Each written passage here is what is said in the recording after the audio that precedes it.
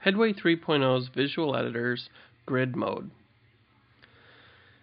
If you're just starting out, the first place you want to go to is the Grid Mode. In the Grid Mode, it allows you to add things like blocks. So you can just drag and drop and select what type of block you want to put there.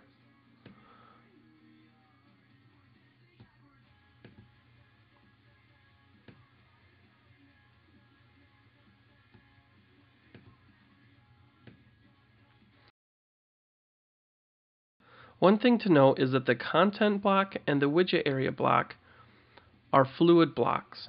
What fluid blocks means is that it depends on the settings of the blocks and the content that's in there to give them a height.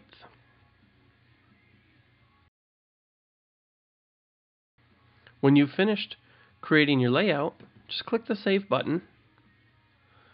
And when you're ready to view it, click View Site. And very quickly you can have your layout that you want set up.